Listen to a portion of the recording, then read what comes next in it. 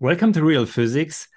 This is our second encounter, and I will present you again my guest, André Koch Assis from Brazil. He is a professor at the University in Campinas yes. and currently even in Germany. And nonetheless, we talk via Zoom because it's much easier to register. Yes. I'm very happy to have you for this first session.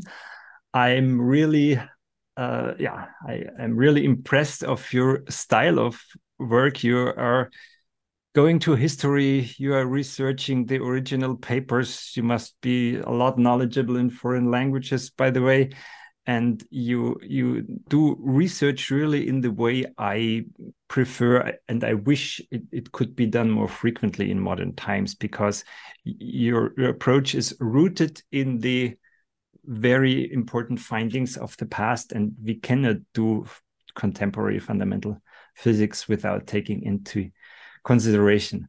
And I definitely recommend to watch our first interview about electrodynamics and yes. you uh, the expert let's say on Weber's and and Ampere's electrodynamics.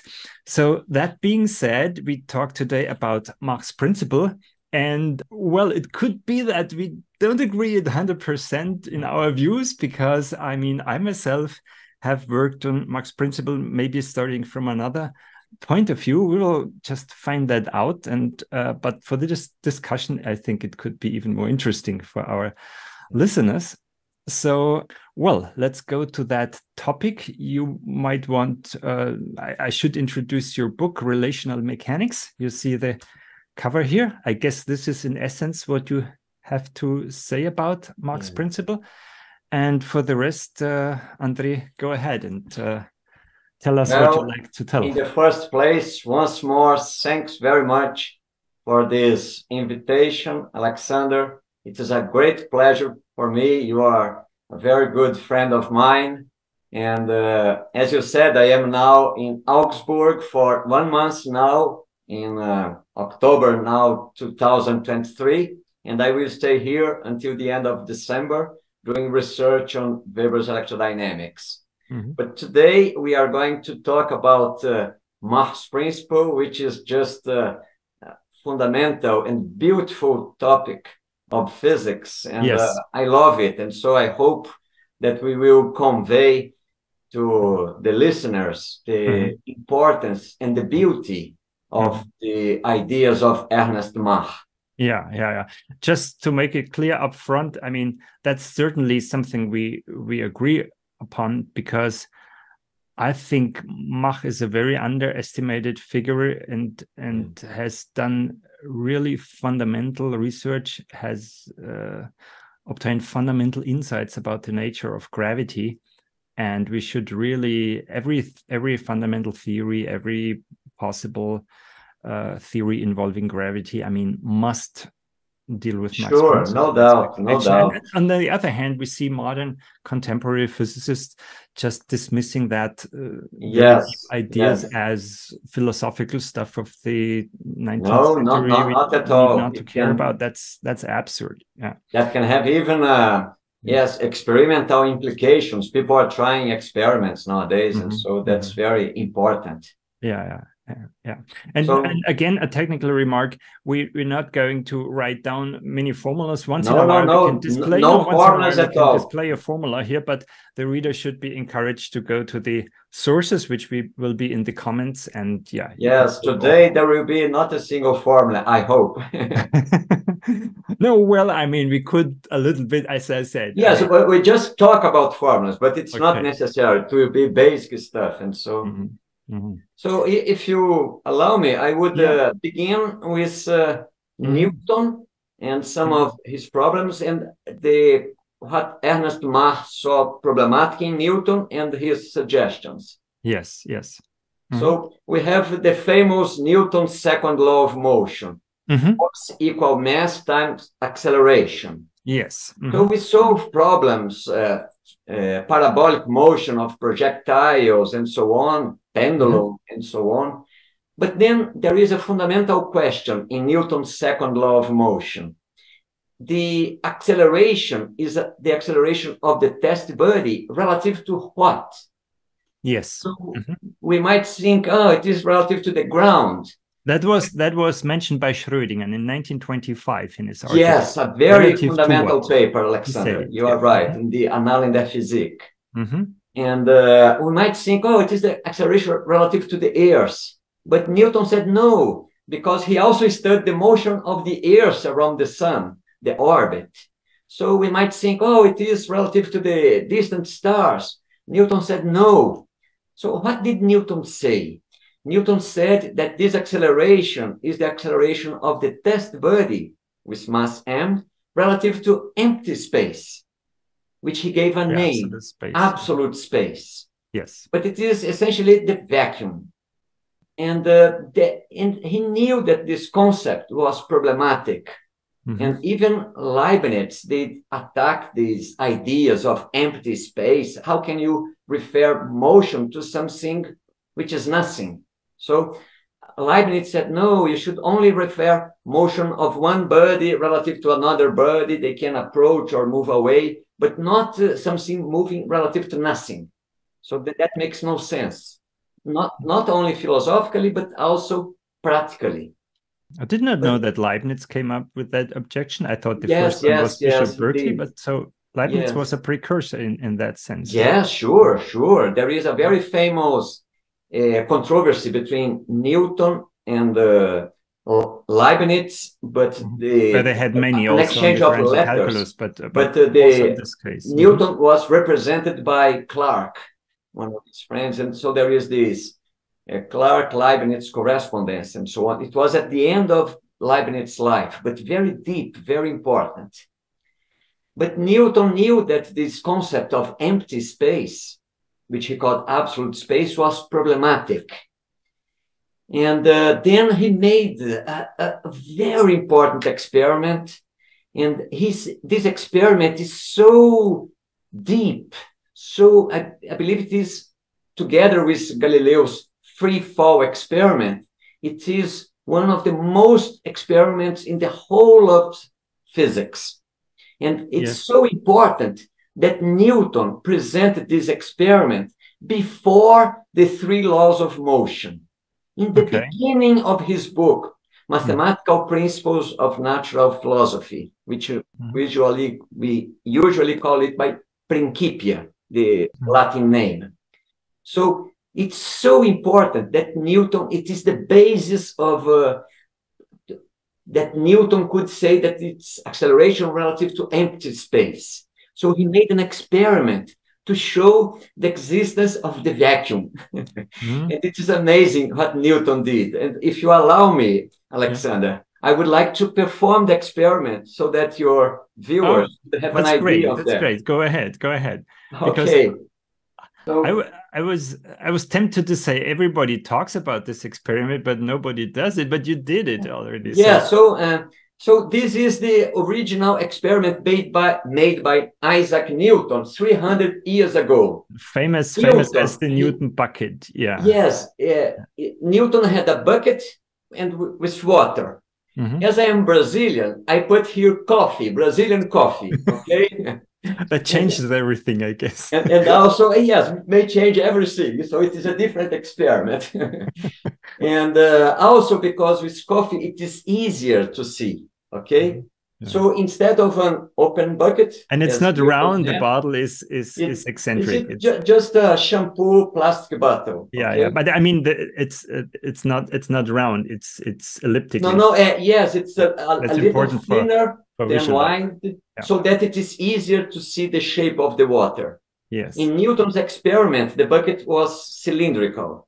Mm -hmm. Mine is not, but just just to so that people can see. But yeah. the experiment happens the same with a cylindrical or with these flattened buckets here. Yeah. Yeah.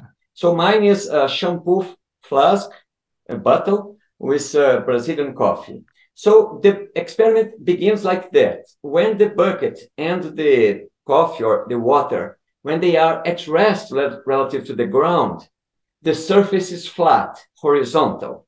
Okay. Then Newton turns the rope many times and uh, so that it turns it many times. And then he spins it in the opposite direction very fast. And what we should uh, take notice is the shape of the water surface. Okay. So I will just turn it here very fast. Mm-hmm. I hope you can see that it becomes. Yeah, it's a parabolical shape. Yeah. Yes, it's exactly a parabola. Yeah. Newton said concave. Okay? Yeah, we can take screenshots and fit a parabola in here. Right? Yes, but if we perform the calculations, we obtain an exact parabolic shape. Mm-hmm. So, so the faster it spins, the higher it goes to the sides of the, the bucket. Okay. Yes. Yeah. And when it decreases its velocity, the concavity decreases until it goes flat again when they stop. So you just let it here stop. And mm-hmm. inside the, the bottle, there is no vacuum. It is just air. Yeah, I see. Mm-hmm. But but you see, Newton, with this experiment, he proved, at least according to his reasoning, that yeah. the vacuum exists. also, he Newton's bucket it was open in open mm. air. Mine is closed, but air goes inside here. Okay, there is no mm. vacuum here. So how could Newton prove that there is vacuum with this experiment 300 years ago? Uh, so the question which Newton asked was the following: Why is the water or the coffee uh, horizontal when it is at rest and parabolic when it is uh, spinning. So, well, and he said he, he got a tool to distinguish absolute space in rest from an accelerated frame. Yes. So we might claiming. say, well, the, the reason is obvious because when the water is at rest, it is flat. When it is spinning, it is parabolic. Oh, mm-hmm. that's the answer. But then Newton asks, is spinning relative to what? So there are three material uh, suspects, mm-hmm. possibilities to consider. The first is the rotation of the water relative to the bucket, okay, with whom the water is in contact. But then Newton said that this is not the case. Said that this is not the in the beginning. Both are at rest. Then Newton turns the rope and releases the bucket. So in the beginning of the motion, only the bucket is spinning. I see. Yeah, yeah, but, but the water, really water is decisive. still at rest. But there is friction between the water and the bucket, and the water begins to rotate with the bucket. Mm-hmm. And the faster it rotates, the higher it goes. Mm-hmm. And then Newton said there is a point in which the water makes the revolution together with the bucket. How mm-hmm. could he know that? He didn't say, but if you just put some bits of paper floating mm-hmm. in water, you can see that it goes at the same rate as the no, of course. Yeah, yeah. And so now let us concentrate in these two situations when both are at rest and when both are spinning together relative to the ground. Mm-hmm. So, so if you're in there in the B. bottle, you don't notice anything because everything's yes, revolving yes. at the same so rate. In the you... first case, the water is flat and there is no motion between the water and the bucket. But in the second case, the water is parabolic. But in this case, there is also no motion between the water and the bucket because both rotate together. So it is not motion of the water relative to the bucket which makes the difference. Of course, of course. Yeah. So now we go to the second material suspect, which is the earth, of course because here the water is at rest relative to the ground. And in this situation, the water is spinning relative to the ground. So we might say, well, the responsible for the concavity is not rotation of the water relative to the bucket, but rotation of the water relative to the ground. But then Newton argued that this is not the case as well. Why mm-hmm. not? Mm-hmm. Newton proved that the earth is essentially spherical and it attracts everything towards the center of the earth. And this happens, this is just the weight mm-hmm. of anybody. Mm-hmm. which is downwards. Oh, we could do even this experiment at the at the ISS space. Yes, yes, right? yes, that, would, that's possible. There would be no attraction. There would no be pressure. Yes, the water yes. would be just out there the, at the cylinder. The, the water would become at at the wall cylindrical mm-hmm. if, mm-hmm. we, if, yeah, if yeah. we are in space. Yeah. all this is not the real problem, or the, the yes, real but, problem but comes. So and so, why Newton said that it's not motion of the water relative to the ground? Because even when the water is spinning, the force which the earth exerts on any molecule molecule of water is always pointing downwards. There mm-hmm. is no horizontal component. Of course. No matter if the water is at rest or mm-hmm. spinning, mm-hmm. because Newton's law of gravitation does not depend on velocity nor on acceleration. So we eliminated now the second material suspect, which is the earth, the ground. So there is a third and final material suspect, which is the reminder of the universe, the stars and galaxies. Newton didn't know about galaxies, but we know, okay? Mm-hmm. So we might say, and not even uh, not even Mach about galaxies. Not, not even Mach, because yeah. it's only with uh, Hubble that we yeah. could uh, decide the question. In this situation, the water is essentially at rest or not accelerated relative to the stars and the galaxies. Mm. But in this case, the, the water is spinning relative to the stars and the galaxies. So we might say this is responsible for the mm-hmm. curvature. Mm-hmm. But then Newton said, no, this is not the case. How could he know that? Hmm. Because. Newton was so brilliant that he mm-hmm. made a very important calculation in his book Principia. Yeah. He showed not you... only that a spherical shell attracts an external point as if the shell were in the center, but he also calculates the, the force exerted by a hollow shell in an internal particle. Mm-hmm. And he showed that when you integrate the force of all the walls vanishes. Mm-hmm. It vanishes. It goes to mm-hmm. zero. And I this see. only happens with forces which follows as one over r square, as is the case with Newton's law of gravitation. By symmetry, if the body is in the center, it will always be zero. But when it mm-hmm. outside the center, inside the shell, the only mm-hmm. thing which symmetry says is that the force will point towards the center or away from the center, but not its value. So, but so let, let the, me let, when Newton integrated for his force law one over r square, he mm-hmm. showed that it is zero. So ju ju just to conclude, so when the water is at not accelerate relative to the stars and galaxies, each one pulls in one direction, but the sum of all of them is zero in this case. Mm-hmm. But it remains zero in this case because Newton's law of gravitation does not depend on velocity nor on acceleration. That, that's that's clear. That, that's and so, so, Newton mm-hmm. did eliminate all the possible material suspects: the bucket, the ground, the earth, and the remainder of the material universe, stars, and nowadays we yeah. might say galaxies black yeah. holes, anything okay. which is. Let me let me there. just clarify, since you have the historical knowledge. Um, you're saying that Newton explicitly had this concern or this thought. Yes, so yes. My, what I learned, so to speak. Yes, and, what and, I learned and, that he kind of neglected that possibility, and then he was driven to that. Yes, to that and you see, Alexander, Newton Mach, to me but, is the greatest you, you mind that Newton, that Newton already discussed that Yes. be the reminder. And and you're saying based on this theorem, which is correct. Yes. Yes.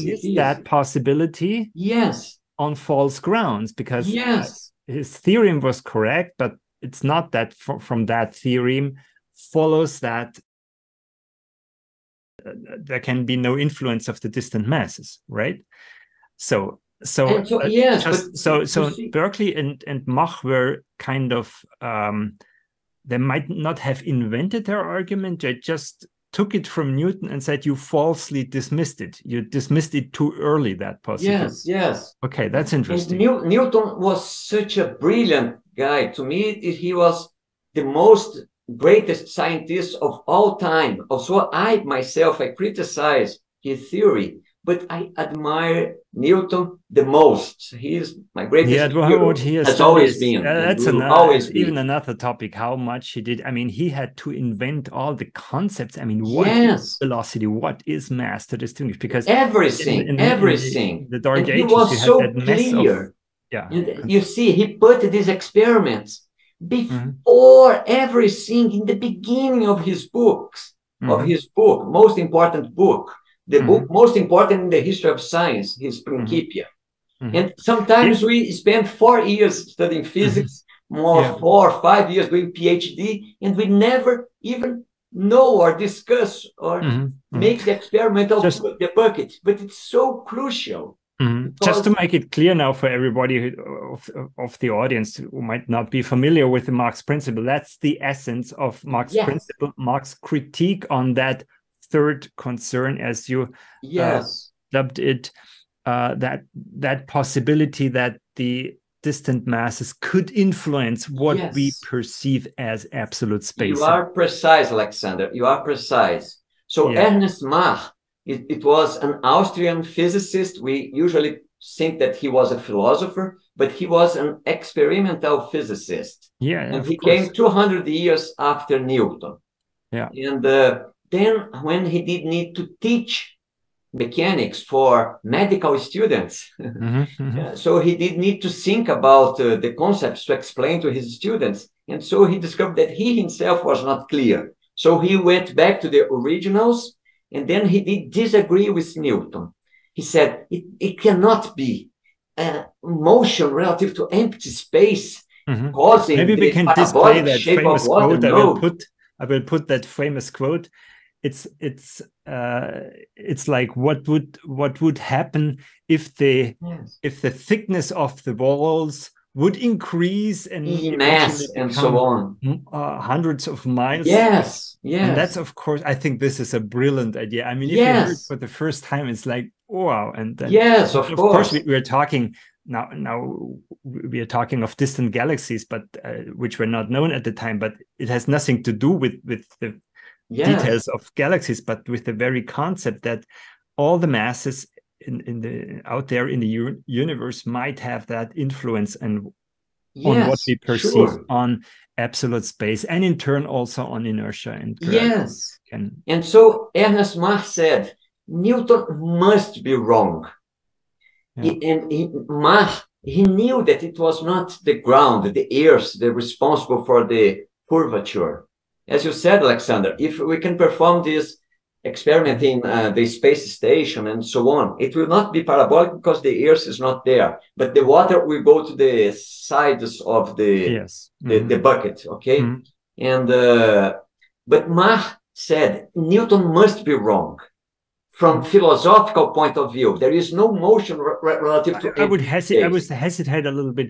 I would say he said that Newton could be wrong because actually nobody can perform the experiment. Yes, let no rotate the can- galaxies around. Yes, Right? no So one can that time- perform, but he, but Mach, Mach said that Newton's absolute space it was a monstrosity in physics that we must get ri- rid of it. Yes, he challenged. explicit. He challenged that concept of absolute Yes. space, also of absolute time, by the way. Yes, by the way, as well. and that uh, he challenged that for a good reason. Let's say Yes. That- that's okay. so but the What- experimentum crucis. say? What, what did experiment- Mach say? Mhm. He said the concavity of the water in this experiment is not relative to the motion of the water relative to the bucket, and not relative of the water relative to the ground, to the, the earth, but it must be rotation of the water relative to the remainder of the universe. In Yes. his times, he spoke only about the fixed stars. Nowadays, we can say stars and galaxies. Mhm. And then, Alexander, as you know quite well, he proposed a thought experiment, which I will propose to your audience here now. You can have some time to think about it. What did Ernest Mach propose?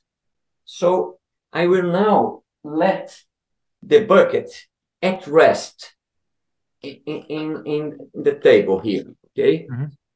I will let it at rest here. Later on, I, I appear my face again. Mm -hmm. So uh, Ernest Mach proposed the following. What we suppose that in Newton's real experiment, when the bucket is spinning once a 2nd mm -hmm. the water goes up to the border of the bottle. Okay, yes. if I spin it once a second, it goes up to the border. Now, Mach said, what will happen if I let the bucket at rest here on the ground and in imagination, if I rotate the whole universe around the bucket, around the axis of the bucket, also once a second. So what will happen if I let the bucket at rest and if I could perform this experiment and if I rotate all the stars and galaxies together yes. around the axis of the bucket once a second.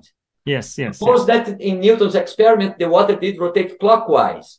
Now I let the water at rest and rotate the universe once a second anti-clockwise. Right. So the relative motion is exactly the same. What will happen to the surface of the water, to the water itself? Hmm. So According there are, to Mach, it will curve again. Yeah. Yeah. So there are two main possibilities, but I will let the audience each one think about that. What each one of you we, we let us know let us know in the comments now. what you think about the, the, experiment which has not been done yet yes and this experiment so each one can give any answer which he wishes mm-hmm. because mm -hmm. this experiment has never been done and will never be done yeah yeah because however i mean there are other possibilities other possibilities but not this one because it is Obviously. impossible to yeah. rotate but the simple fact that i mean if you rotate it at a certain a frequency, I mean, the outer parts of the universe would, would be superluminal motion. So you have but already a problem here. But anyway. In, anyway, it is impossible to rotate all the universe around the, the span once a second relative to the ground. So it is completely a thought experiment. Mm -hmm. So each one of the audience can give any answer because no one knows the right answer and no mm-hmm. one will never know the right yeah. answer because this yeah. is impossible, this experiment. Yeah. It can suggest other possible experiments, but mm -hmm. this one specifically, it is impossible to do it, to perform it. Yes. will always be impossible. And let's also say that Newtonian mechanics does not distinguish here, right? Yes, and so now, now I will give some answers, okay? Mm -hmm. So I give two opposite answers. Now let's no let's let's just say that Newtonian dynamics would I mean it's, it's impossible to distinguish from from Newton Newtonian mechanics there would be no reason whatsoever why the water should curve even yes, if the universe you are perfect Alexander you are right. perfect so, so, according to Newton if mm -hmm. you mm-hmm. rotate the universe once a second around the axis doesn't bother bucket, doesn't bother the bucket yeah the, the, the water will remain flat stationary yeah. why yeah. Yeah. because of Newton's theorem it yeah. is theorem 31 of the Principia that if we integrate the force of a spherical shell on an internal point, no matter where this internal point I see, is I see. I, I, I understood. Shell, I understood. They, they, cancel, they go to 0 mm -hmm. And what happens if you rotate the shell? It will yeah. remain zero. Why? Because. Newton's law of gravitation does not depend on velocity nor on acceleration. And that that causes serious doubts about the validity of the the foundation of the about the foundation of Newton's law. Correct. Yes, of let course. me let me check. Maybe we should because this is an important point, and this we can also maybe you wanted to talk about anyway uh, on Foucault's pendulum, but we can, can a, li a, little later. Just, just let so us just we, finish this it, one. It can be rephrased in that terms. Yes, too. yes, it uh, can. Talk, talk about but that later. Let us okay, just, just continue. Mm-hmm. Continue with this one. So, uh, what would happen according to Ernest Mach? According to Ernest Mach, in the real experiment, the curvature of the water, the parabolic shape, is because it is spinning relative to the distant universe. Yes. So if I let it at rest and rotate the universe in the opposite direction with the same angular velocity once a second, then the water should go to the sides of the bucket, should become parabolic, and should go up to the border of the bucket so that it will be exactly the opposite of Newtonian mechanics, and the water should be just like in Newton's real experiment. So we have two opposite predictions here, but we don't know the real answer and we will never know. Okay? Anything can happen. The water can explode. Anything can happen when you rotate the universe. Mm-hmm. But th- these are the two main uh, mm-hmm. possibilities which people consider. Okay? Either nothing will happen, and if anyone in the audience thinks that the water will remain flat, it's okay because mm-hmm. we don't know. But yeah. then this person is a Newtonian. Also, mm-hmm. he may not know it. He's yeah. thinking just like Newton. Mm-hmm. If anyone thinks that the water, as the relative motion is the same, so the mm-hmm. effect should be the same, so the water should be parabolic, this mm-hmm. person, without knowing it, mm-hmm. is a Machian. Not, not from the planet Mars, but following the ideas of yeah. Ernst Mach. I see, I see. Okay, he will be maybe we should maybe we should if we talk about Mach's principle here, maybe we should. I mean, this is the starting point. I mean, what what we discussed, it, it's in my view, it's kind of one fourth or one third of what you would yes, consider yes, Mach's sure, principle. Sure. Maybe we can go ahead and and and that. I mean, that in turn, we, we are talking about how to define systems at rest and how yes, to define inertia. That's yes, central exactly. Uh, concept. And, and, in this and case, we are utilizing as our frame of reference the ground always. So mm-hmm. it's not an a- abstract. Yeah. Uh, so Mach's, Mach's principle shows it, it is always the ground in this case. Okay, mm-hmm. it's a real material uh, frame of reference based yeah. on the ground.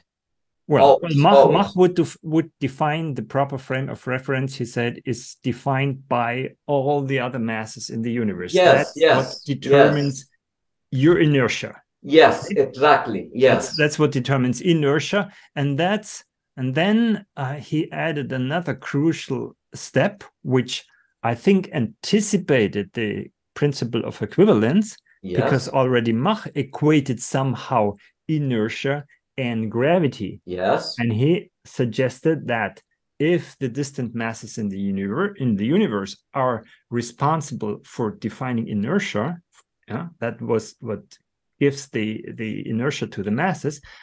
Also, the distant masses should be the reason of gravity. Yes. And that's another wonderful extension and, and another uh, as, as you said, thought, Alexander, uh, one of my books is called. Yeah, we uh, already displayed that. Yeah. Relational mechanics, and so the bucket mm -hmm. is in the cover. Okay, these yeah, I see. Yeah, yeah. and uh, these uh, can.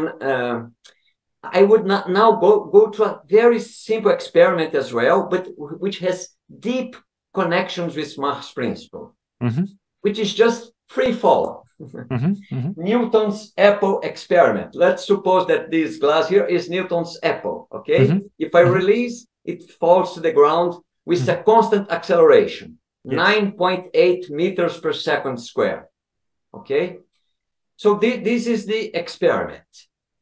And Galileo was the first to show that if we perform this in vacuum, so all bodies will fall with the same acceleration no matter their weight, no mm-hmm. matter their shape, no matter their chemical constitution. For instance, I guess the vacuum was later, right? It was the yeah, the, the, vacuum the Tower of Pisa was uh, built on later, but from his reasoning, yeah, he mm-hmm. concluded that if you can eliminate the friction due to air, then mm-hmm. all bodies will fall with the same yeah. acceleration. For instance, a lead ball in the a small cork Mm-hmm. They have different uh, chemical compositions, different weights, and different shapes, but they will fall Density. with the same acceleration. Yes. So this is a very deep result. But moreover, when we calculate this rate of acceleration with classical Newtonian mechanics, F equal ma, so the F is the weight of the body, which is mass times the gravitational constant, g. So the two masses cancel, the acceleration will be equal to the small g. And uh, this small g is capital G mass of the Earth divided by the radius of the Earth square. So mm -hmm. this acceleration is proportional to the mass of the Earth. Right. Okay? of 9.8 meters per second square. Uh, and so Galileo or Newton specifically predicted that if we could go to another planet, not, not specifically, but it is implicit in his calculations, that if we could go to another planet with a smaller mass, the free fall acceleration would be smaller than 9.8 meters per second right, square. Right. Mm-hmm. And nowadays, uh, since the Apollo mission in 1969, men went to the moon and then they performed the free fall acceleration, a hammer and a, a feather, and they mm-hmm. just fall together because there is no air in the moon, mm-hmm, essentially. Mm-hmm. Moreover, they, they showed experimentally that the acceleration, free fall acceleration in the moon is one sixth of the acceleration on the ground. It's much right. slower mm-hmm. in the moon, essentially because the mass of the moon is smaller than the mass of the Earth. There's yes. also a difference in size, but I will here concentrate only on the masses. Okay. So we know that this is correct, that the free fall acceleration is proportional to the mass of the attracting body. Of course. But as you said, Alexander, according to Ernest Mach, the inertia of any body, its resistance to acceleration, is due to its interaction with the distant bodies.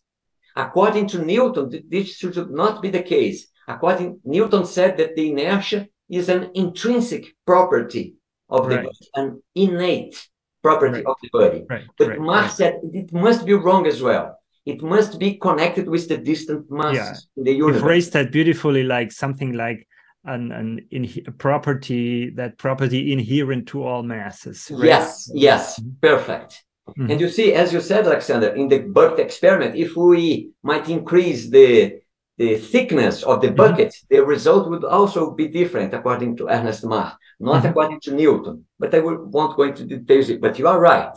Mm-hmm. You're precise, Alexander.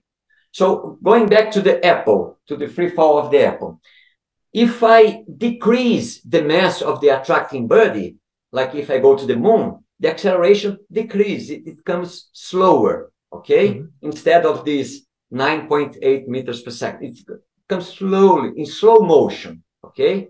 But you see, uh, if when, when I say that I decrease the mass of the earth, this should be equivalent of repeating the experiment on the earth, but increasing the masses of all the stars and galaxies. Yes, shouldn't make because it, it, it should be the, just like yeah, yeah, yeah. I, I, see. I can rotate the, the, bucket or let the bucket it... rest and rotate the universe in the opposite direction. I yeah, can yeah. increase the mass of the earth or decrease the mass of everything else.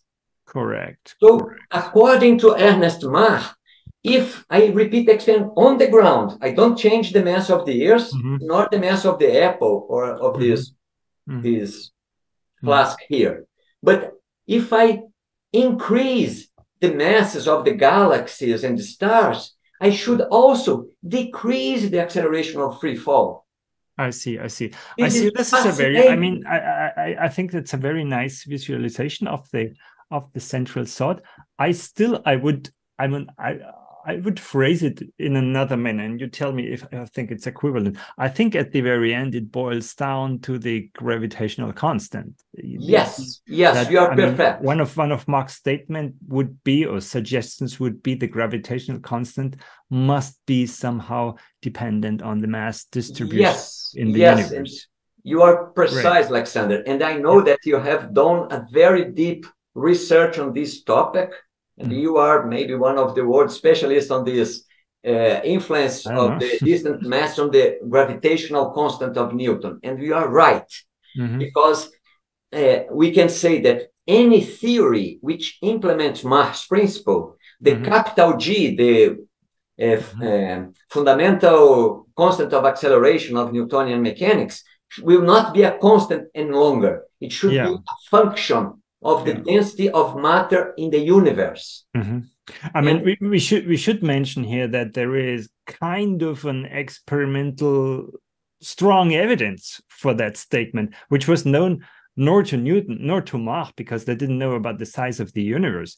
But what we observe, we can display this very simple formula that the gravitational uh, constant, if you talk about orders of magnitude, it's equal to c squared, the speed of light, times the radius of the universe yes. by the mass of the universe, right? And yes. it's sensational that this is a coincidence in orders of magnitude because there is no explanation whatsoever yes. from and these these coincidences mechanics also from, from a philosophical point of view it's it's very unsatisfactory that you have to postulate a godlike number that rules yes. and governs all the motion in the universe and oh, why no, that no. number and why not another number so we, we got to explain that okay? yes sure you're right that's the uh, i mean I, I think mach would have been happy about this yes and you see any theory which implements mach's principle should lead essentially to the following conclusion that mm. the newtonian uh, universal constant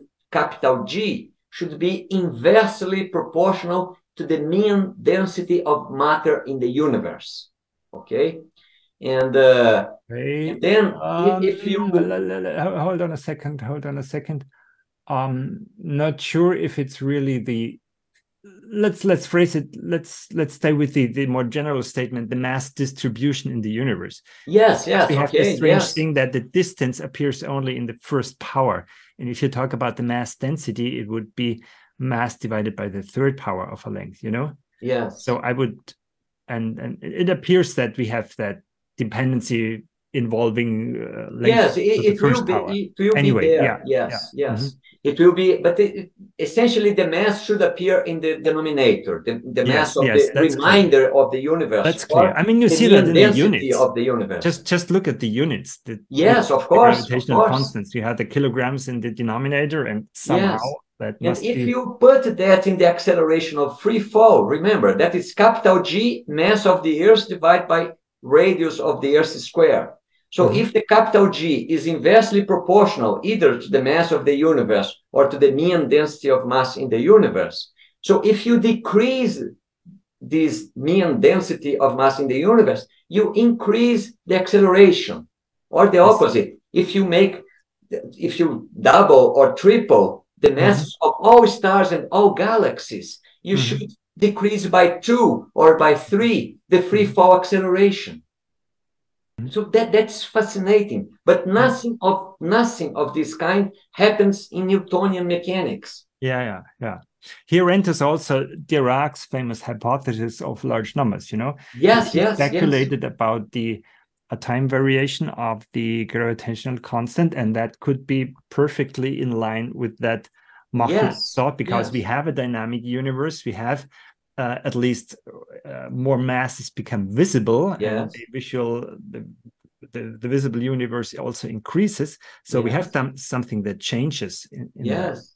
that, that so yes you are right. And that, that is the large number hypothesis of dirac. It's another way of looking at mach's principle Even he didn't then, realize that Dirac did not did not mention Mach. No, no, he didn't yeah. mention that. But mm. if we have this point of view, then we see because G will be capital mm. G will be connected with yes. Hubble's constant or the yeah. radius, Hubble's radius, and so on. And so it will be there. Mm-hmm. But, uh, so it's another way of looking at the same equation which Dirac did obtain. Mm-hmm. 10 to the fourth power and so mm-hmm. on. Yes. So if you will allow me, Alexander, I would go to a third topic, mm-hmm. which just for the listeners to understand more about these Machian ideas. Mm-hmm. Just let me to give just to give credit to to to people in the history that we didn't invent all this stuff. Right? No, no, there, not at all. There should be, I guess, there should be mentioned. Um, uh, well, maybe it's the first one, Schrödinger. We already had Schrödinger, yes. And I, I call attention, had... Alexander, to this paper by Schrödinger. It was published in 1925 in Annalen der Physik, and yes. it has already been trans translated into English mm-hmm. uh, in a book called uh, Mach's Principle from mm-hmm. Newton's Bucket to Quantum Gravity, published mm-hmm. by Julian Barbour and Pfister. Mm-hmm. Uh, and uh, it was a conference which took place here in, Germany. I did came I came mm-hmm. even to this conference as well. And mm-hmm. uh, in these uh, proceedings of this conference, there is a full translation by Julian, I believe it was by Julian sure, of this paper by Schrödinger. So I yeah. suggest mm-hmm. strongly that yeah, it's your audience should. Yeah, yeah. I will. I will paper. display that. Yeah, it's also amazing how many cosmological in- insights shooting ahead. And yes. there is another guy to mention the British Egyptian cosmologist Dennis Sciama Dennis Sciama yes.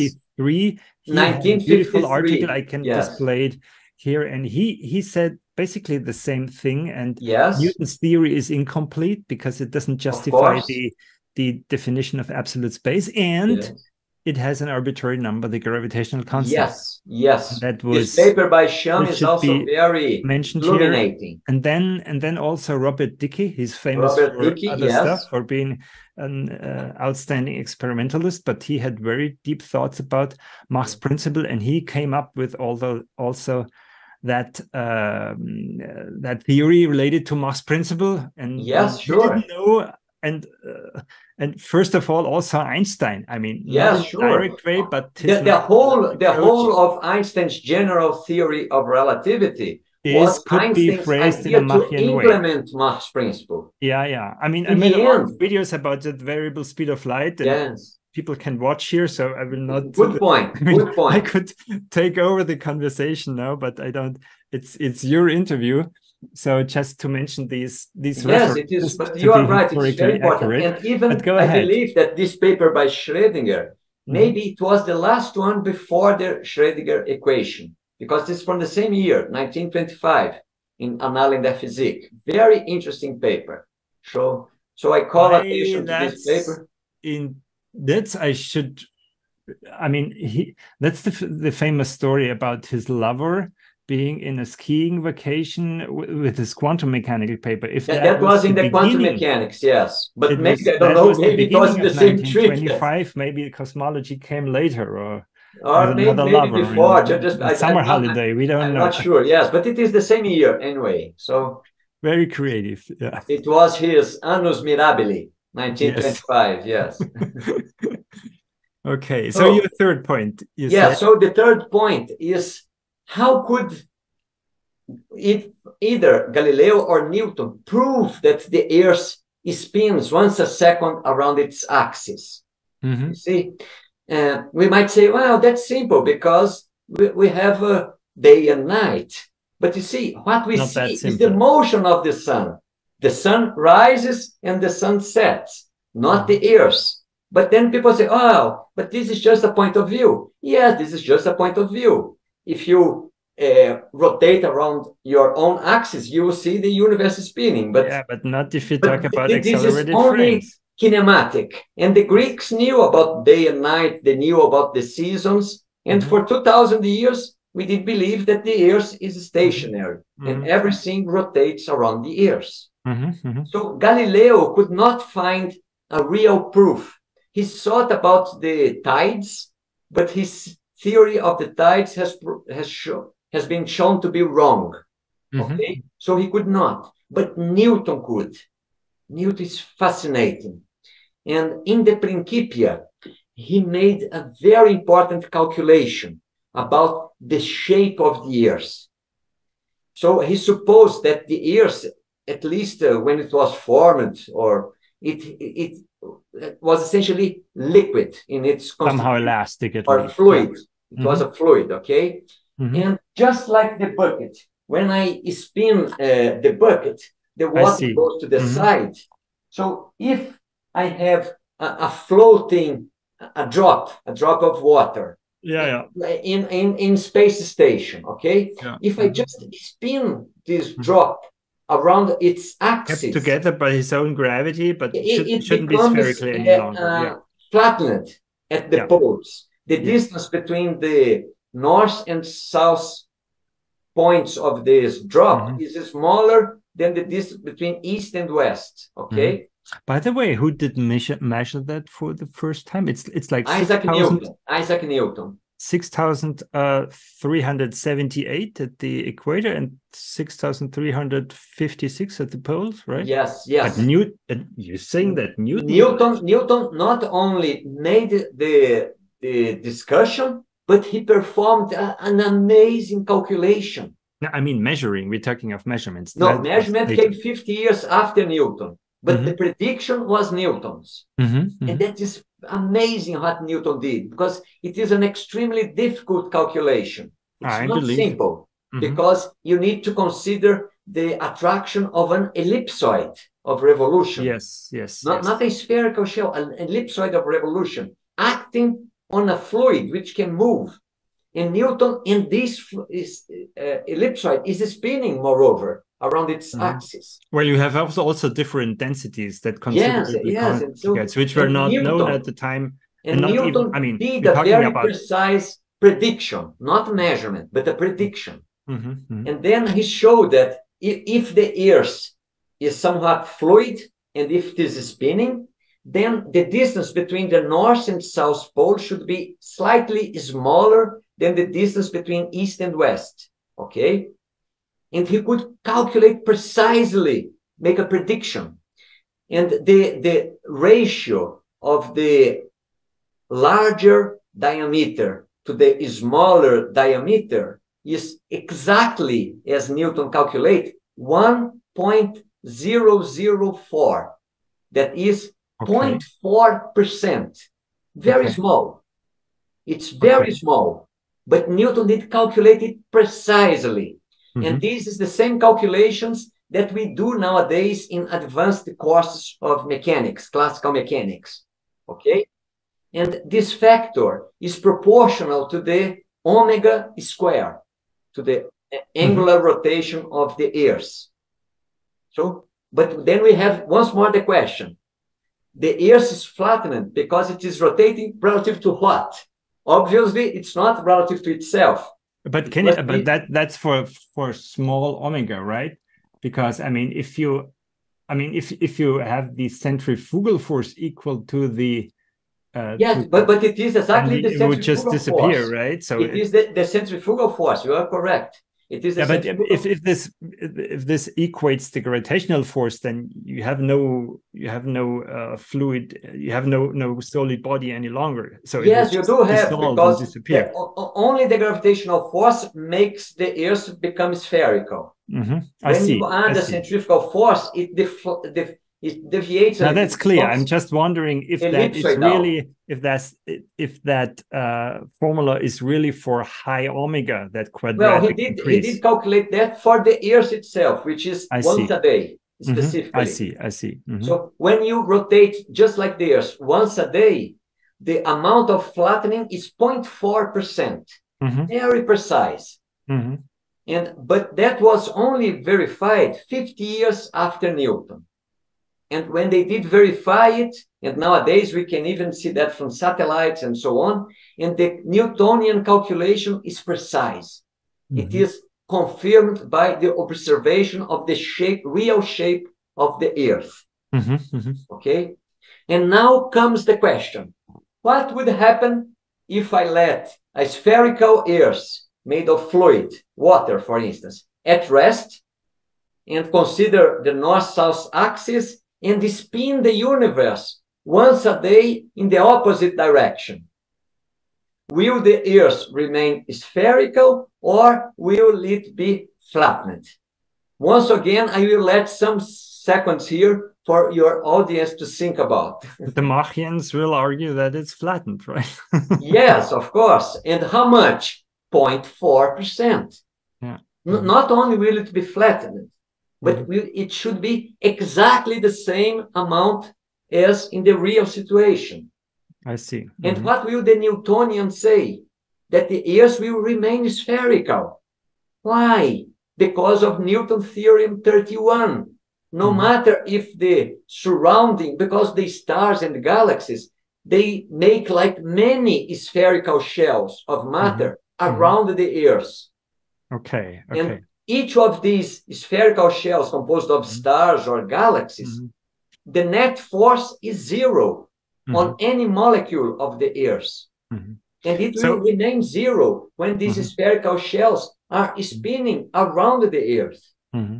because Newton's law of gravitation does not depend on velocity and acceleration.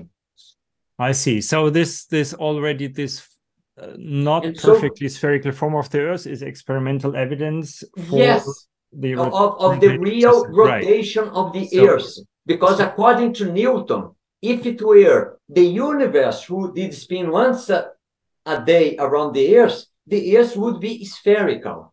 I see. As it is not.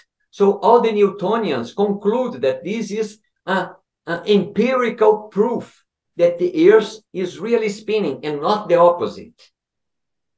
Because the day and night you can attribute to anyone. Either the soul, the sun rises and sets, or the sun is mm-hmm. stationary and the earth spins in the opposite direction once a day. You will see the same phenomena, the same with seasons and so on, but so, not the shape of the earth. So the why do you think the earth is decisive in Newtonian mechanics? So why do you think it took 200 years until Foucault made that quite simple experiment? Quite simple, I don't know, but no one thought about that. And only Foucault, he only uh, Foucault's pendulum, we should say that. I mean, it, it's it's a pendulum maintains the um, it's it stays in the same uh, direction, right? And yes, if the, the Earth revolves, of, we we we seem to perceive a change in that direction. Yeah? Yes, and that's many many famous uh, Foucault's yes. pendula exist. So but Foucault was the first one but to do that. Ju ju ju just, to close, just to close the question of, of the rotation of the earth. Mm -hmm. So if once more, if we could perform the experiment, we could know who is right, Newton mm -hmm. or Mach. But mm -hmm. once more, we cannot do this experiment. Right. But you see, Newton was so brilliant because he found an uh, empirical evidence which happens only in his theory due to the rotation of the Earth. Because if the Earth were stationary and the universe did spin once a second around the Earth, the Earth would not be flattened. Right. But Ernest Mach came and said, this is no proof because in both situations, the Earth would be flattened. Mm. we cannot perform the experiment. Yes. But so now, now we can go to what you said about Foucault's pendulum, because this is also crucial, Alexander. So Foucault made this experiment in 1851. Correct. So what is this experiment? I, I will just simulate it with this pen, okay? Mm-hmm. Uh, suppose that we are in an inertial frame of reference, and I have a, a bob here, a, a, string or a thread, and I release the pendulum, and it begins to oscillate, okay? What are the forces acting on the mass? It is the weight pointing downwards and the tension along the string. Right. These two, these two forces, they form a plane. So if I release the pendulum at rest, it must always remain in this plane. In the because the, same two, plane. The, the yes. two forces are always in this plane. And, and I will say that this plane is parallel to this wall here on my side, okay?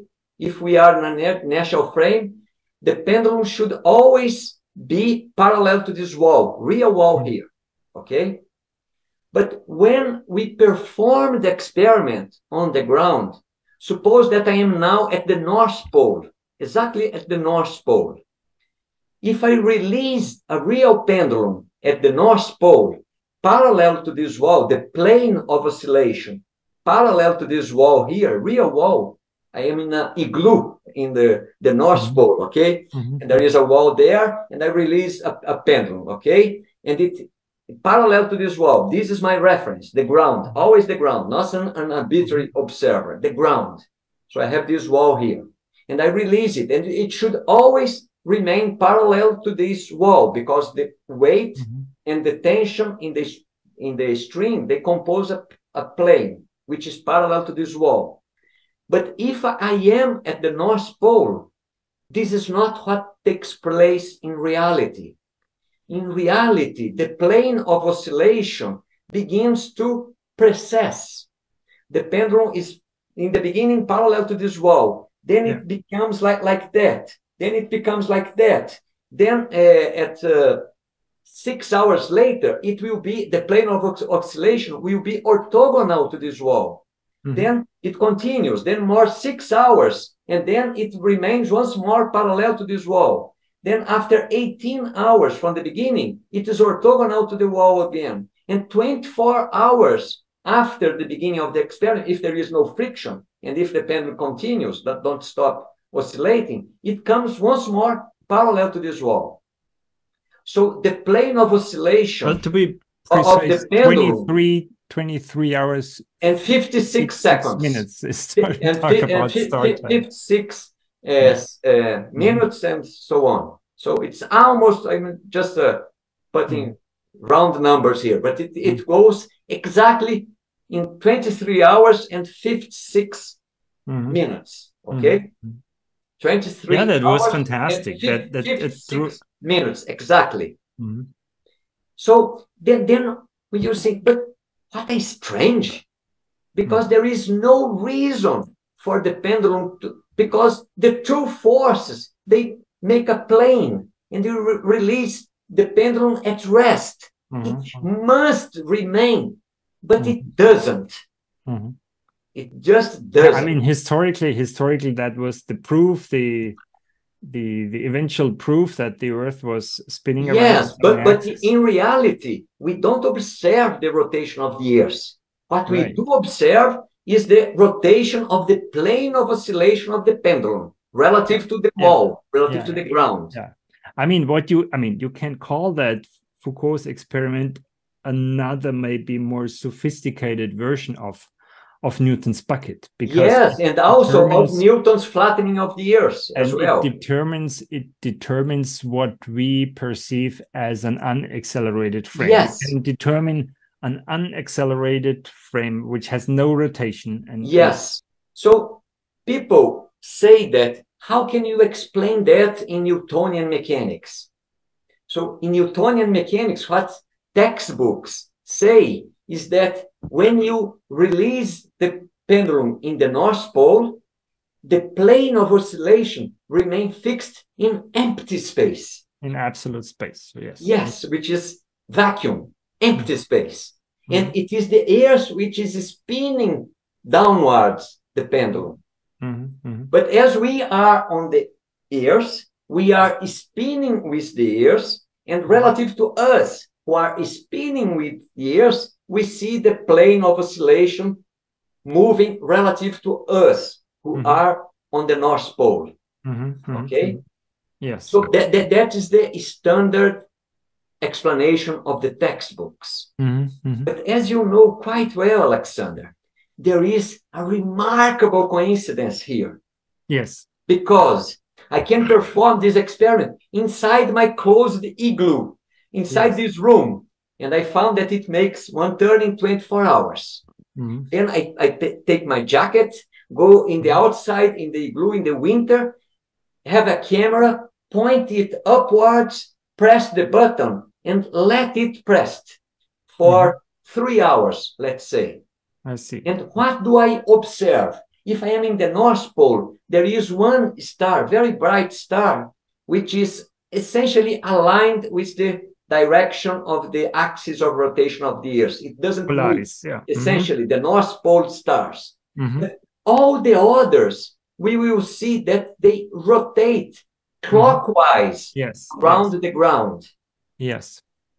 And as a remarkable coincidence, it in six hours, if I have a, a- certain uh, constellation which is in front of me, after Mhm. six hours, it is orthogonal to me. Yeah. After uh, 12 hours, it is in my back.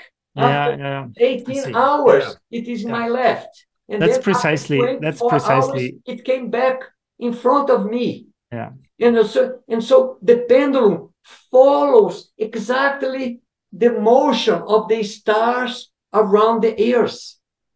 That's precisely the point, and and I think you have you have to let that sink in because mo- I mean we're, we're very accustomed to that fact, and nobody so nobody wonders and nobody reflects, but it's really something remarkable you have to wonder about. So yes. so let, let's phrase it this way i mean you have you have one system be it newton's bucket or be it foucault's pendulum in which you dynamically determine what is absolute space at rest Yes. right and this is a local experiment you don't look Yes. at the don't look at the universe and say rest is uh, the, the, system, the frame in which I don't perceive any centrifugal. Yes, there is no curvature okay? of but water, you don't need no the rest flat, of the universe. No and for Newton's, for Newton's theory, it doesn't make a difference. And then you have another method, of course, to to determine what is at rest. Look out there in the stars. I mean, yes. back then you had stars. Now we have even quasars, even better. Yes, yeah, yes very yes. precisely, and that is what is done. Yeah. Yes. So I know I don't know how many uh, digits uh, accuracy and you observe this and say okay observationally this is my unaccelerated system at rest which does not rotate if i look out there and out there and, uh, so very precise and what a coincidence that these two systems yes. Coincide the, the, i mean the, it's this, mathematically as you know, it's, Alexander, it's this cannot be a it's, coincidence it's an it's an unbelievable coincidence and yes. very I mean, and, and the start uh, the, the, startling thing is, and, and, and, it's it's irritating that Newton does not explain that coincidence. Yes, of course, no one, no one. That's yes. also also Sciama in his paper said. Yes, Newton does not explain that coincidence. Yes, not should, at all. Should make us worry. I mean, yes. the very foundations of of Newton mechanics. And by the way, um, general relativity does not resolve the problem no, either. not at all as well. And Yeah. if you see, if I we, if we go back to the Foucault's pendulum, Mhm. if I am in the North Pole, the pendulum follows the motion of the stars. If I am in the South Pole, when it rotates anti-clockwise, but as I myself I am now upside down, I- also in the South Pole, the pendulum Yeah, follows the course, motion no difference. of yes. the stars and galaxies because in the south pole they move anti-clockwise Mhm. so and why should why should it? Why should it? yes why should it proved that it does not. There is no gravitational influence. That there Yes, must yes. be something else, or or let's say an understanding of gravity which goes beyond that Yeah. inverse square law, which Yes, of course. also the so-called constant fixed part in big G that questions Yes. that constancy of the big G because there must be a deeper law be, behind which in first Yes. approximation is is fine and, and wonderful, but it's not the end of the story. yes Yeah.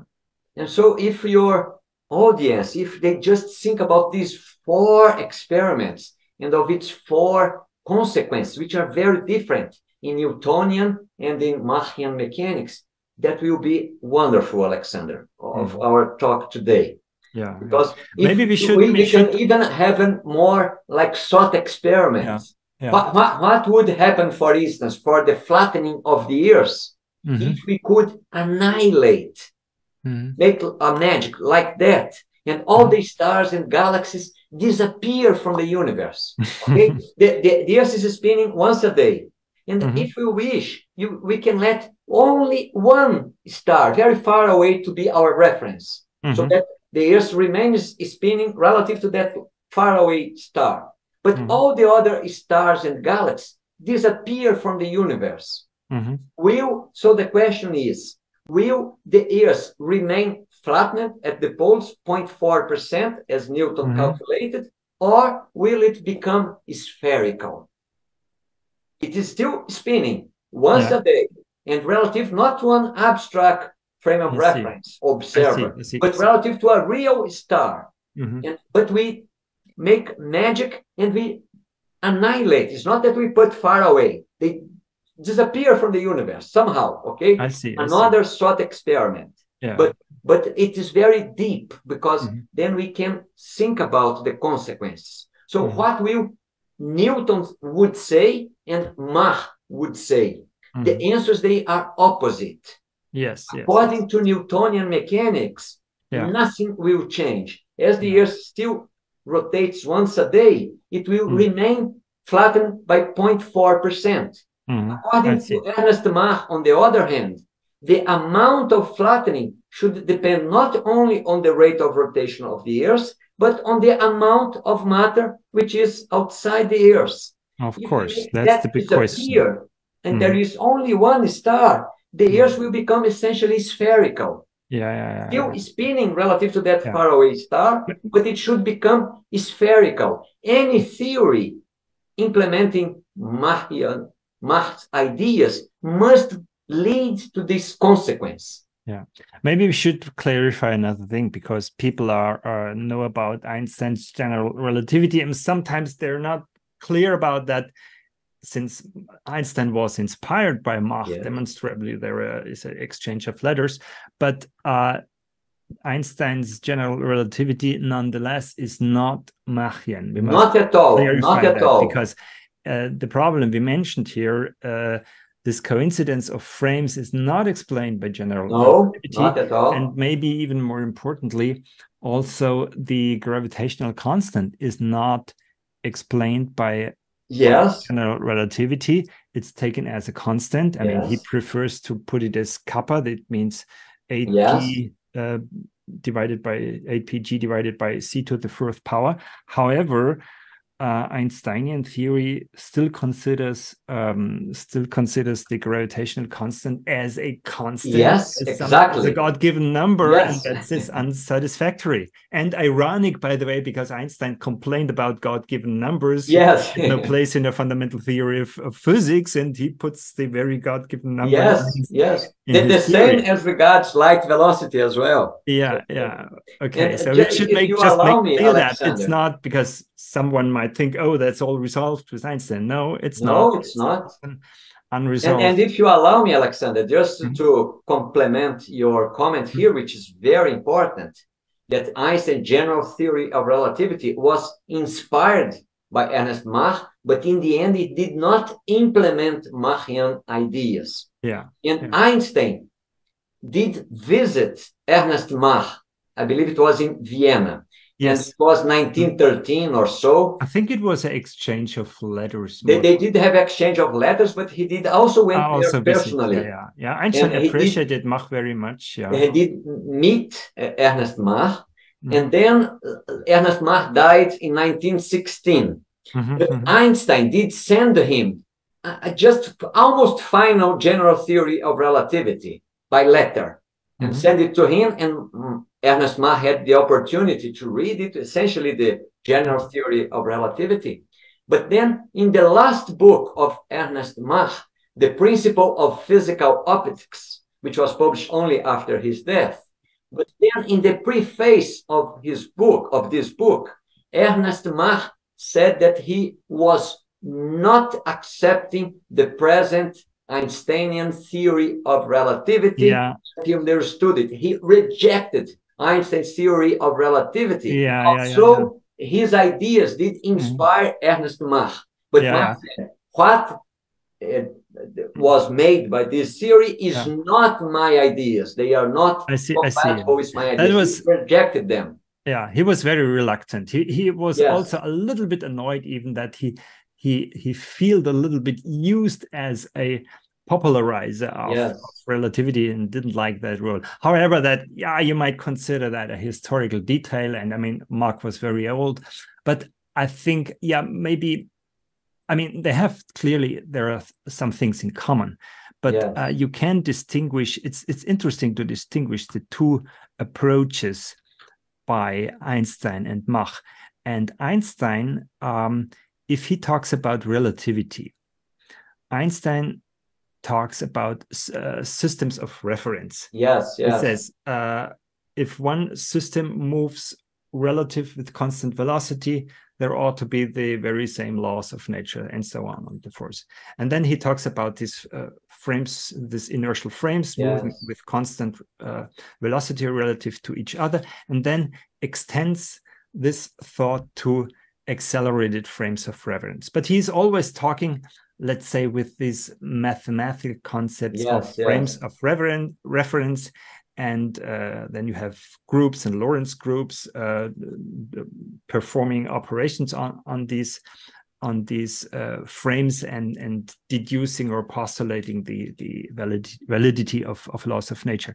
The idea of re of relativity put forth by Mach is different. Yes, he says relativity, he says he always talks about relative motion. Yes, okay, that's yes. the central um, central concept, and he says that it doesn't make sense if we have any law of nature depending on absolute Yes, motion with respect course. to whatsoever, but everything must depend on the relative motion Yes, of the yes, particles. And in turn, also a big step, uh, depend on the relative acceleration yes, of course. of bodies. And Of that's course. the that's the tiny little difference how And- Einstein and Mach yes. use the word relativity. They're both relativists in the sense, And, but uh, they use it differently with also different outcomes then. If you allow me, I will just make my last comment because I think we have uh, already almost one and a half hour now. no, it's fine. I think. I mean, no, yeah. no, but, but I, I think YouTube. I People, just people can say, switch off if you're too boring, but No, no, no, no. But uh, I just mentioned two things. So, Hmm. for those of your audience who have an interest,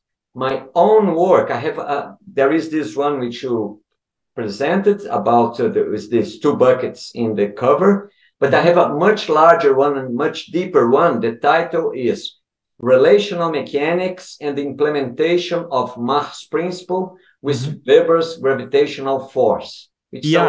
Yeah, We'll display that. Yeah. and Mhm. uh, it is uh, available in PDF in my homepage. I, I hope you will Mhm. put that in the description below in the comments, you find of, it. of Uh, the video.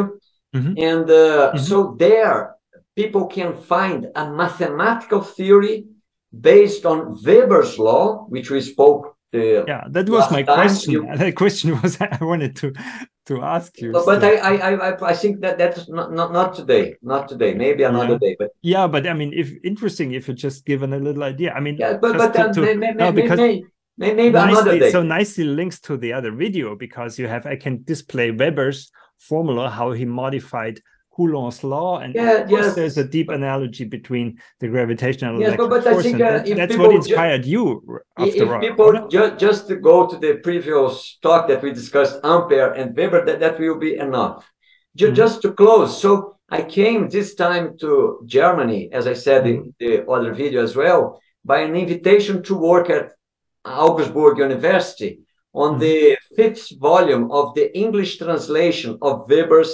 main works on electrodynamics Mhm. and the fourth book of that we did publish already has uh, uh, un- unification of electrodynamics with gravitation and with inertia. We discuss it there. And so I will stay here in Augsburg until the end of December of 2023, working once more in Weber's electrodynamics. So Mhm. I am, as you have my contact, so anyone who Mhm. I am uh, willing to discuss these topics. Yeah, yeah. I yeah. think for today, I thank you very much. you really, you really want to stop here? You really stop? No, or, or you Yes, have yes, yes. one No, no, question? no, I, I think for today that that's Okay. enough. Okay, so we will that is- discuss that in person before. too many ideas that we discussed, very deep, and I think Okay. anyone should, in the first place, think about them and Yeah. see which answer that you give to each one of these questions that myself and you, Alex, and that we put here in this talk today. Yeah, yeah. just think and before you read anything before you go in the internet before you go in the textbooks just each Think one of you yourself. think You're about right. and see Yes. your answer is newtonian Yeah. machian or a third alternative it can be many Yeah, yeah. I, it I- is I important No, that- I, I, I agree one- with you. I agree with you because it's not. I really think this is the right approach, and we're not. I, I mean, I repeat this: we're not here to tell you we are the mavericks, uh, Andre, No, no, no. who have invented or have these solutions. no no. The very first thing you you need to understand is that there is a problem. We still have Yes, a problem. sure. There is something, something to solve, something to reflect upon, and, and something Yes. to discover. If you take Mach's principle seriously, and that, and I think that's the message we want to convey, right? Yes, and even even I, I tell you very seriously, if someone here and may, many I believe will be Newtonians, Mhm. I think that's also wonderful. Mhm. To me, there was there was never any scientist so great, so important, and for the next uh, in- while there is human person on Earth or in any planet, he will never be surpassed. Surpassed. Yeah, okay, such- but well, someone genius. else, someone else stood on his shoulders, right? Yes, And, yes, uh, but you see, still Mach th- had there no even more profound insight, Yes. even if Newton remains. Yes, but, but what, what I want to say is even if someone is Newton, that's perfect. Not only mm-hmm. perfect, you are in an excellent company because he's the greatest genius who has ever lived. And so, mm-hmm. and we will never know these questions for these topics that we did discuss today because they are thought experiments. Maybe okay. other they these thought experiments they inspire other that we can do in the laboratory and so on. Mm-hmm. For instance, ju- just to tell you, okay, uh, ju- just a possible experiment. I cannot okay. take the universe, but okay. I, could, I could have, for instance, this bucket here, mm-hmm. and I could put a glass shell around the bucket mm-hmm. and rotate only the glass shell relative to the ground. Mm-hmm. mm-hmm. Okay, so myself, the ground, the bucket, and the water, we are at rest relative to the ground. And mm-hmm. I rotate a glass shell once a 2nd mm-hmm. This I can do in the laboratory. Okay, and we don't observe any uh, curvature of the water, I but see. we can also perform calculations Mm-hmm. What will be the shape according to Newtonian mechanics, according to Einstein's general theory of relativity, or according to relational mechanics, which I work with? And we, mm-hmm. so you, in this case, in principle, you could go to the laboratory and try. Mm-hmm.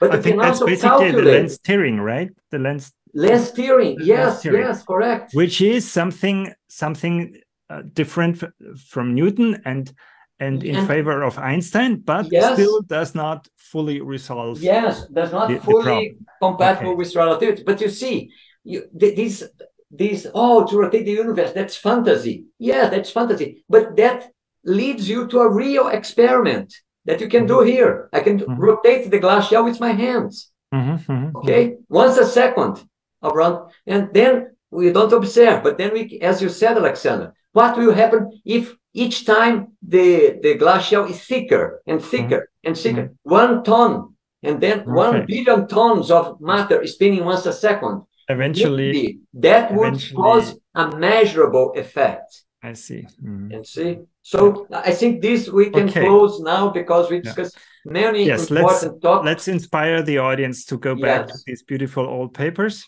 and I will list all the stuff in the comments. And yeah, at this point, thank you very much again for the. And thank you very much, Alexander, for the second and time that I'm here. We'll see you soon. And if okay. anyone wish, I will be in Germany until the end of December. Bye bye.